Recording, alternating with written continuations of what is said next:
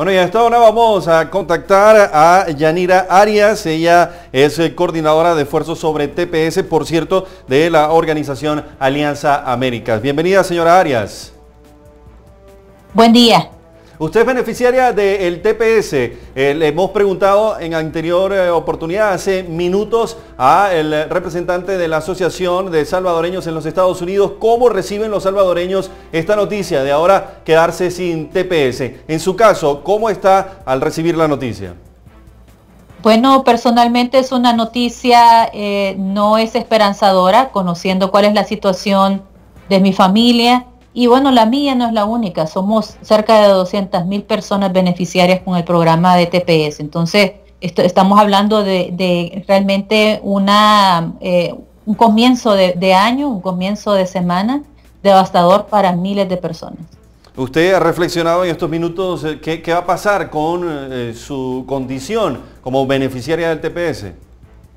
Bueno, en mi caso, eh, le puedo mencionar que ser parte de un proceso de estar organizándome, de estar informándome, pero también siendo parte de procesos de incidencia para encontrar una solución legislativa, me encuentra esta noticia más fortalecida, con más ganas de seguir luchando, de no pues cruzar los brazos y vencerme ante este anuncio, que es solamente un anuncio una de las tantas, eh, de los tantos pasos que tenemos que recorrer. Mi preocupación es para las personas que nunca se organizaron y no se acercaron a espacios para poder eh, discutir y conversar cuáles son las alternativas, pero también por qué debemos de continuar presionando legislativamente a miembros en el Congreso.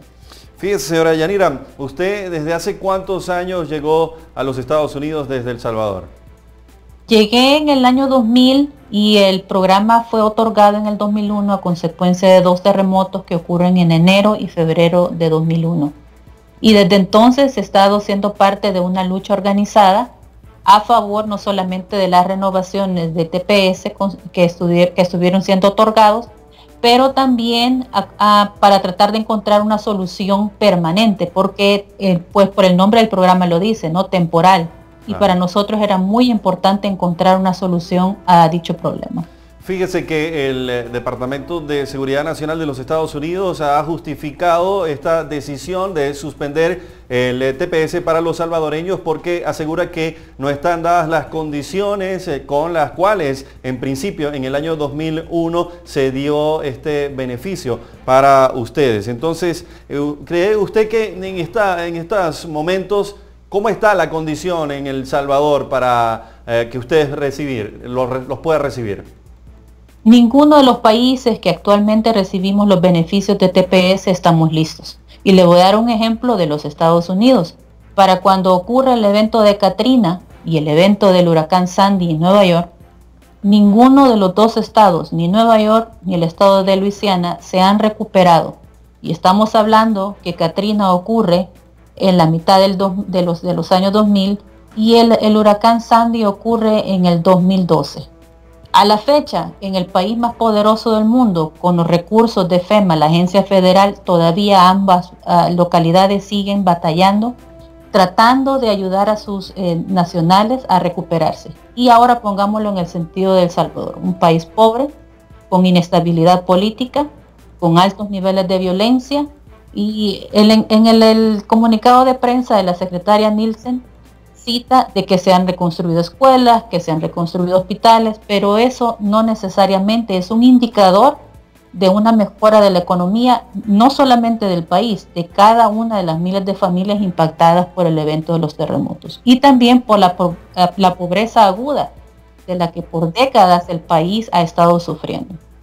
Fíjese, el canciller Hugo Martínez, el canciller de El Salvador, recientemente acompañado de la embajadora de los Estados Unidos eh, en El Salvador, ha eh, reconocido que existe este plazo de 18 meses y está llamando a los salvadoreños a mantener la calma. Las personas que tienen el TPS, ¿usted cree que eh, puedan dormir a partir de ahora, luego de tener esta preocupación latente de ser deportados?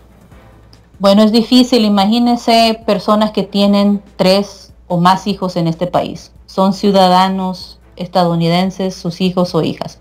O están casados con una persona residente permanente o un ciudadano estadounidense. lo primero que le viene a la mente es que no va a querer separarse de su familia o llevar a su familia a situaciones de inseguridad, de inestabilidad y de extrema violencia.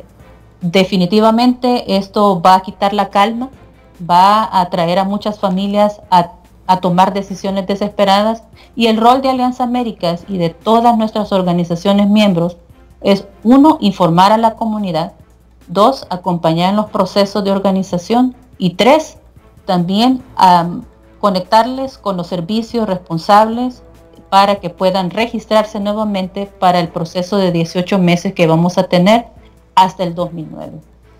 Sí, para lo cual también eh, el eh, propio canciller ha dicho que hay que esperar entonces los términos y las condiciones que eh, dicte el gobierno de los Estados Unidos para ir a reinscribirse. Es correcto. Al momento hemos recibido el comunicado de prensa oficial de la secretaria Nielsen. Ahora lo que hace falta es lo que se conoce como un registro federal, el cual incluye las fechas para inicio de registro y la fecha de finalización de ese registro. Incluye también qué documentos la persona debe presentar, los costos para poder eh, cobrar, eh, cubrir los costos de procesamiento de estos formularios. Y nosotros agregamos en, esa vía también que las personas deben de tener mucho cuidado con los fraudes de abogados inescrupulosos o de notarios que van a tratar de bueno, estábamos conversando con Yanira Arias, ella es eh, coordinadora de esfuerzos sobre TPS de la organización Alianza para las Américas. Retomamos, retomamos la comunicación con usted, señora Yanira. Quería preguntarle también, ya nos quedan pocos minutos para concluir la entrevista, pero importante eh, reconocer de parte de ustedes si ha tenido el gobierno de El Salvador algún tipo de apoyo, cómo han visto las gestiones que ha hecho el gobierno de El Salvador para eh, los esfuerzos que se hacen en defensa del TPS. Bueno, nosotros somos una organización transnacional, es decir, hacemos impacto en política pública acá en los Estados Unidos y en nuestros países de origen. Directamente hemos estado trabajando con el gobierno de El Salvador, eh, tanto con el Ministerio de Relaciones Exteriores, con la Embajada acá en los Estados Unidos, y hemos estado no solo proporcionando indicadores, puntos de discurso, trayendo testimonios, pero también recomendaciones al gobierno de El Salvador de cómo poder manejar la situación en cuanto eh, por qué necesitamos una solución permanente al TPS. Vamos a continuar trabajando de la mano con los gobiernos de la región, estamos hablando de Honduras, Nicaragua, El Salvador, y también en solidaridad con gobiernos como el de Haití y de otras partes, porque estamos envueltos en una campaña que no solamente se preocupa por el destino de las y los salvadoreños, sino que también de los más de 10 países que estamos recibiendo estos beneficios y nos interesa mucho que se, entienda cuáles son las realidades y las consecuencias de la cancelación y la deportación forzada a situaciones de inseguridad y de violencia de, de todos los nacionales beneficiarios de TPS. Muchas gracias, señora Yanira. Vamos a estar bien pendientes también eh, del avance de los esfuerzos que ustedes hagan y eh, de la información sobre esta campaña que también va van a potenciar ustedes a través de diferentes medios en los Estados Unidos a favor de la legalización entonces de los beneficiarios del TPS. Muchas gracias, señora Yanira. Gracias a ustedes y buen día. Yanira Arias, coordinadora de esfuerzos sobre TPS de la organización Alianza Américas. Amigos, con esta información vamos a una pausa y enseguida volvemos con más noticias acá en C24.